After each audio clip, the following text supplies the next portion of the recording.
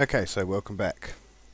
In the last video we were looking at um, applying a mass fill or a, fill, a filling selected tiles with our uh, choice of tile. So here we have the um, the select effect going on and we've got that on the um, when the page is ready we're applying a drag to select function to our map box. And we're selecting any divs inside of that box. And on our on the on hide function we're saying uh, any div with a class of jQuery drag to select we're removing the class of selected this is just um, because there's a bug if we don't actually do it. On um, the page I've also got a fill button which fills all the selected areas with um, our choice of tile.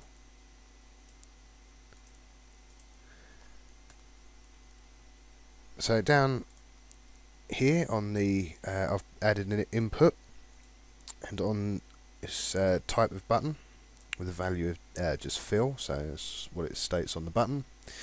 And on the on click event I've we're running a function called fill tiles. If we come up here to the uh, JavaScript you can see here the function of fill tiles. And we're inside here we're running a an each loop the for each loop it's each item with the um, class of selected. We're running a function and we're just saying this dot attribute uh, class equals the class of the JS tile hold which is the same thing we're doing on our place tile. And this can be done with any of the um, tiles we're selecting.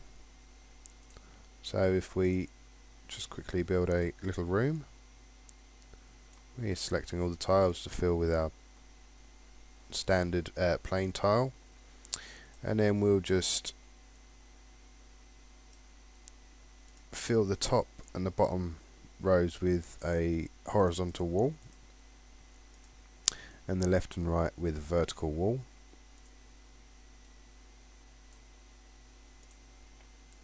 and then we can go in and put our corners. These corners I made uh, between videos. I also made a cross section and I'm yet to make a T section for each side. So I'll do that between uh, the next videos.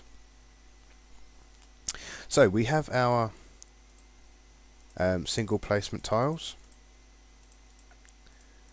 and we have our mass fill our fill tiles uh, our fill selection. Excuse me. So the next thing we need to do is I'm going to create a little button which removes and adds the um, the grid. So we can get rid of this border and the spaces in between so we can see what it looks like actually compact. Okay, so welcome back from that little break between I don't know. Anyway, so the I've got our toggle grid button here, and that just collapses the grid on itself, uh, so you can see what it looks like without the uh, grid. But apparently things are going to start buggering up on me now.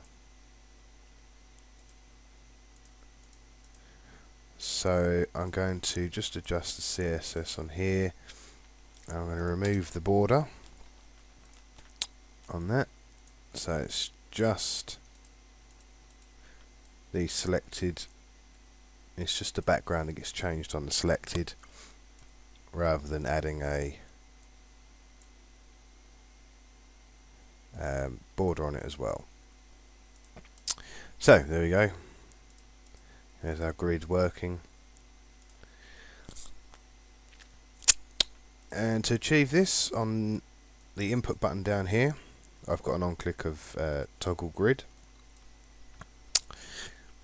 And on the toggle grid um, function, inside there we run an if condition, and if the first child, uh, the first div child of the map box, uh, if its CSS margin does not equal 0 pixels, then we want to remove the grid.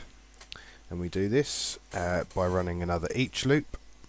And for each map box div, we run the function and we select we say this CSS border is equals to nothing and that removes the border. And the margin equals 0 pixels. And on the else we reapply the border. So we say the CSS of border is 1 pixel it's solid and black. And the margin equals 1 pixel I've also had to reduce the size of the um, the map box div here by one pixel just to stop um, collapse of these divs because they're being floated. so that's our um, grid sorted and we'll have a look at the effects on a proper you know a proper map now. So there we go, for argument's sake, that's our map and we can toggle the grid and we can see what it actually looks like or what it will look like when we when the um, map is actually rendered in the game. so, what's next? We're going to look at saving the map um, into an XML format, uh, file format. And then after that we'll look at making uh, each cell or making cells solid so that they can't be passed through. So we'll go and uh, say we'll, we'll create a little save button and a place to name the actual file okay so now I've worked on the making sol uh, tile solid. If we come over to here, you can see in this box here, we have a big red X. Also place two buttons. Down here we've got tile placer and change solid style, uh, change solid tiles, and we've got a mode. Now currently only this button works and what it does is it changes the on-click attribute of each of these tiles from tile placer? Or place tile event there uh, function there and it changes it to to uh, toggle solid. It also changes uh, the text displayed on for the mode. So if we refresh and we have a blank background. Currently we can place tiles as as we want. And you can see the mode says tile placer. If we say if we click uh, change solid tiles the mode changes to solidize. And when we start clicking these the big red X appears which indicates that these are going to be solid tiles. Now if we click it again, the X is removed and they become non-solid tiles. And we'll now, we'll now go through the code which makes this happen. So, the first thing we'll look at is uh, the function of make solids and that function is tied to the event on the uh, on click for the uh, change solid tiles button. And when that's uh, clicked we just change the text of the mode. Uh, I've got a span wrapped around here with a class of mode. And we change the text of that to solidize. And then we run another each loop uh, for every map box and div within that child uh, within that map box we run the function and we change this attribute on click. And remember it's got to be a capital C there to toggle solid.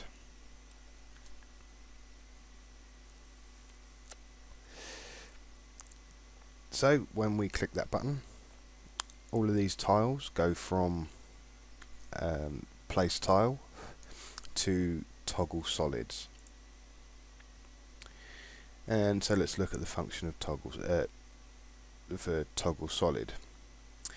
Inside here we've got an if statement.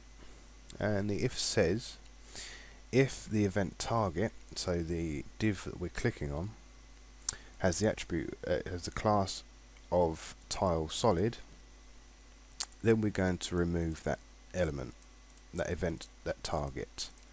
So we're just going to remove that and that's what removes that um, that red X.